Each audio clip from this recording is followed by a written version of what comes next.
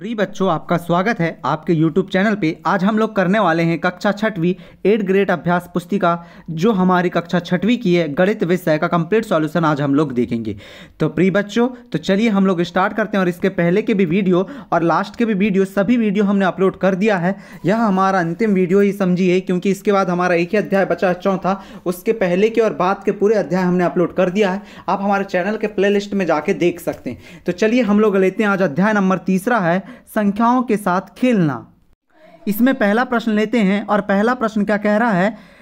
संपूर्ण संख्या या परफेक्ट नंबर किसे कहते हैं? संपूर्ण संख्या या परफेक्ट नंबर किसे कहते हैं? तो देखिए, संपूर्ण संख्या परफेक्ट नंबर किसे कहते हैं? वह संख्या जिसके सभी जिसके सभी गुणनखंडों का योग वह उस संख्या के दो गुना हो, एक पूर्ण संख्या कहलाती है। मतलब जब किसी भी संख्या के गुणनखंडों का योग करें तो उस संख्या का दुगुना हो जाए तो वह संख्या क्या कहलाती है हमारी? संपूर्ण संख्या कहलाती है, जैसे छः और आठ, अट्ठाईस सॉरी इसका आप गुणनखंड करके देख लीजिए, आपको पता चल जाएगा कि इन दोनों के गुणनखंड करने पे जो संख्या प्राप्त होती है, वह गुणनखंडों का योग कर रहे हो तो टोटल उस संख्या का दुगुना हो जाता है, ठीक है? अब अगला प्रश्न ले लेते हैं। भाज्य और अभाज्य संख्याएँ क्या होती हैं? तो भाज्य और अभाज्य संख्याओं में देखो, भाज्य संख्या कौन सी होती हैं? भाज्य संख्या वैसी, ऐसी संख्याएँ होती है जिनको किसी भी संख्या से भाग दिया जाए तो भाग उसमें क्या हो जाता है?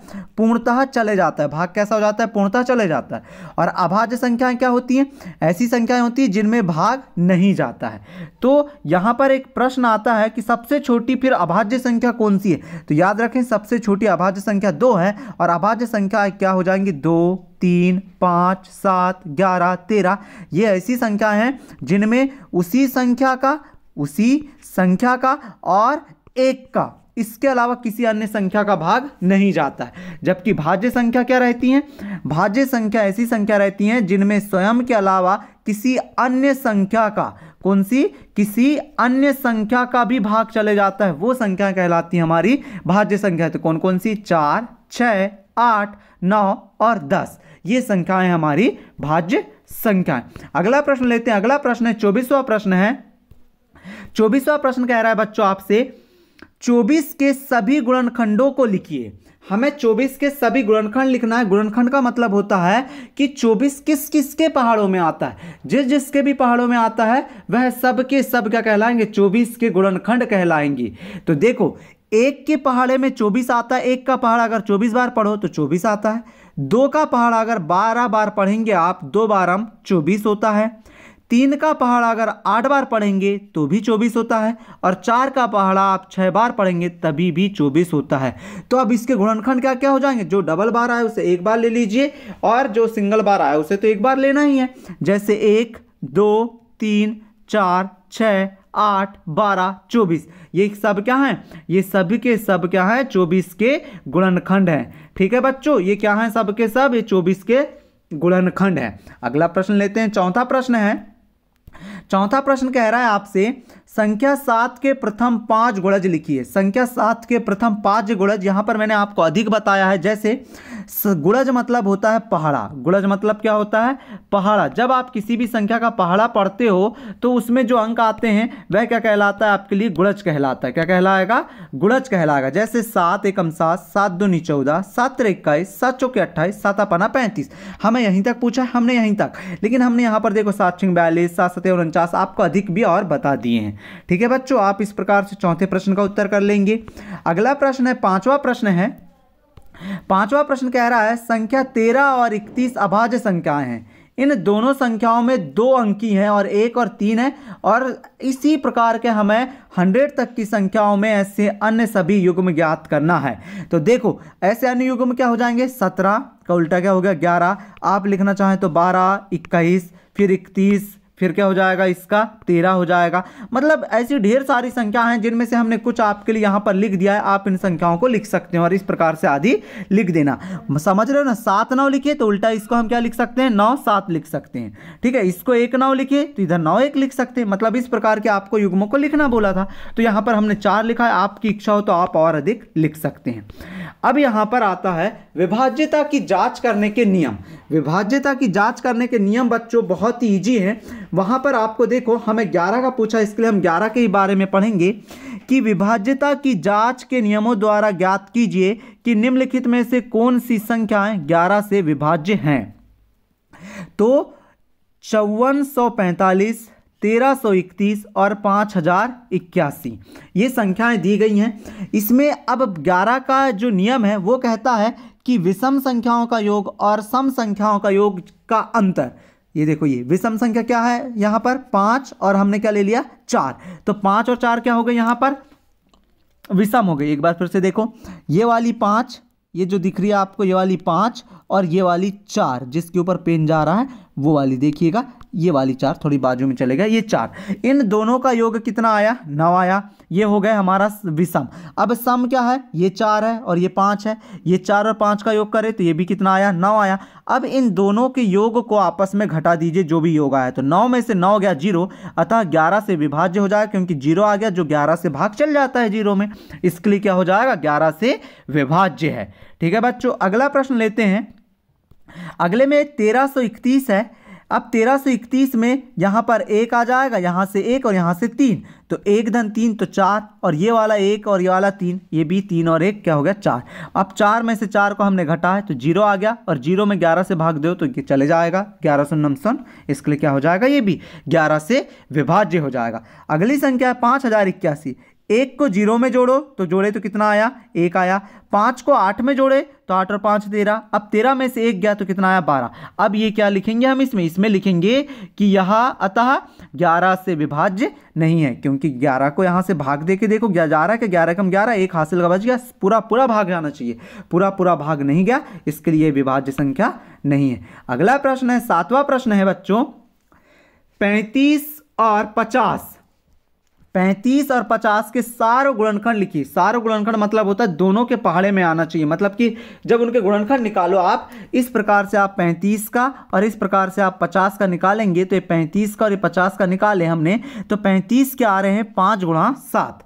और पचास के गुणनखंड आ रहे हैं दो गुणा पाँच गुणा दस गुणा पच्चीस। मतलब ये क्या होगा? गुणनखंड। सॉरी, यहाँ पर हमने गुणज ले लिया, उसके गुणनखंड कह सकते हैं हाँ ये वाले, ये भी गुणनखंड ही हैं। तो यहाँ से देखो, जब हमने गुणनखंड लिया तो यहाँ से समान कौन कौन है? तो इन दोनों के गुणनखंडों में ओनली क्या कौन समान है? पाँच समान है। तो यहाँ पर उत्तर हमारा क्या हो जाएगा? पाँच हो जाएगा। और इसे कई विधियों से कर सकते हैं बच्चों, आप लोग भी करने की कोशिश कीजिएगा। अगला प्रश्न है, आठवां प्रश्न क्या कहता है बच्चों? एक संख्या पाँच और बारह दोनों से विभाज्य है। किसी अन्य संख्या से यह संख्या सदैव विभाज होगी। या नहीं बताना है। तो हाँ यह संख्या पाँच और बारह जो, पाँच और बारह से जो संख्या विभाज्य है, वह किसी अन्य संख्या से विभाज्य होगी, जैसे साठ के बटे पाँच तो बारह पंचे साठ, ये आ गया, या पाँच बारह साठ, बारह एकम बारह बारह पंचे साठ, हो गया? साठ जो संख्या, अब वह संख्या साठ से भी तो विभाज्य है, जैसे साठ को साठ से विभाग, विभाजित कर सकते हैं। तो एक आ रहा है क्या नहीं? तो इस प्रकार से हम कह सकते हैं कि हाँ वह जब पाँच और बारह से दोनों से विभाज्य है तो वो किसी अन्य संख्या से विभाज्य होगी, और वह संख्या सदैव क्या होगी? वही संख्या होगी जिससे उन्हें विभाजित करने पर वो मान आता है। और अगला प्रश्न है हमारा। बहुत अच्छा है। महत्तम समापवर्त ज्ञात करना है। महत्तम मतलब कि अगर हम गुणनखंड निकाले इनका तो गुणनखंड तीनों में चले जाना चाहिए। तीनों संख्याओं में अगर भाग दे रहे हैं हम लोग तो तीनों में जाना चाहिए। तब वह क्या कहलाता है? महत्तम कहलाता है। तो यहाँ पर बारह, सोलह और अठारह का देखो। दो का दिए तो दो चिंग बारह आया। दो अट्ठे दो अट्ठे सोलह आया और दो का पहाड़ा चौदह बार पढ़ेंगे तो अट्ठाईस आता है। उसी प्रकार दो तिया छः हुआ दो चौके आठ और दो ओ, दो सत्ते चौदह। फिर दो का दिए तो यहाँ पर चले गया। फिर इसी प्रकार आगे हल करें तो यहाँ पर पूरा पूरा हमने दे दी। अब यहाँ पर बात आती बात आती है कि किस संख्या का किसमें गया। तो देखो दो का इन तीनों में गया है। ये वाले दो का भी फिर इन तीनों में गया। लेकिन बाकी कोई संख्या ऐसी है कि जिसका तीनों में भाग गया हो? नहीं गया ना, कोई भी। ये दो देखो, चार को डिवाइड करा, तीनों सात को नहीं करा। ये दो फिर दो को किया, ये तीन वाले तीन को किया और सात ने इसको किया। मतलब ऐसी कोई भी संख्या नहीं है। फिर इसके अलावा कि जो दोनों को डिवाइड की हो, इसके लिए यहाँ पर दो गुणा दो बस आएगा। मतलब कि दो गुणा दो कितना? चार। अर्थात महत्तम समापर्थ बारह, सोलह और अठारह कितना है? चार है। और अंतिम प्रश्न आता है, और अंतिम प्रश्न यहाँ पर बच्चों, देखिए हमने बहुत अच्छे से करा आपको समझाते हुए। चार अंकों की वह सबसे छोटी संख्या ज्ञात कीजिए, जो अठारह, चौबीस और 32 से विभाजो आपको करना क्या है? आपको सबसे पहले गुणनखंड निकालना है। क्या निकालना है? गुणनखंड निकालना है। देखो, इस प्रकार से आप गुणनखंड निकालेंगे। तो दो का पहाड़ा अठारह में पड़े तो दो इनाम अठारह, चौबीस में दो एकम दो दो दूनी चार। फिर दो एकम दो और एक बच गया तो बारह हो गया तो बारह का, अब दो का पढ़ा, ऐसा पढ़ो कि बारह से ना बढ़े तो दो छिंग बारह। फिर दो का नौ में जाता नौ जैसे का वैसा, दो छिंग बारह और दो अट्ठे सोलह। फिर दो का छः में दिए तो तीन नौ जैसे का वैसा लिख दीजिएगा उसमें क्यों नहीं जा रहा? फिर दो चौके आठ। फिर दो का जा रहा चार में तो दो दुनी चार।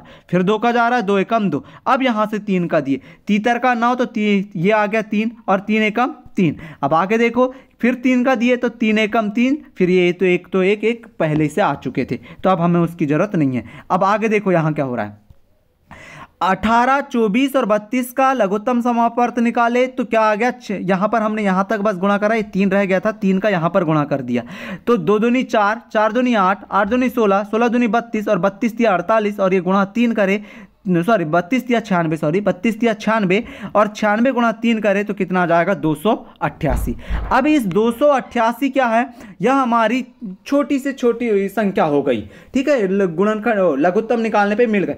अब हमें चार अंकों की बोला, इसके लिए चार अंकों की सबसे छोटी संख्या क्या होती है? एक हज़ार। अब दो सौ अट्ठासी जो हमारा लघुत्तम समापर्त आया है, उससे एक हज़ार से भाग दे दीजिए। बच्चों, यहाँ पर मेरे पास जगह नहीं थी, जगह कम थी, इसके लिए मैंने यहाँ पर भाग नहीं दिया। आप भाग देके देख लीजिएगा तो भागफल से मतलब नहीं है। अब यहाँ पर हमें मतलब है शेषफल से। कितना शेष बचा है? 136 तो आपको करना क्या है? एक हज़ार में दो को जोड़ना है और जो भी आए उससे 136 को घटाना या हम ये कह सकते हैं कि दो में से 136 को घटाना है।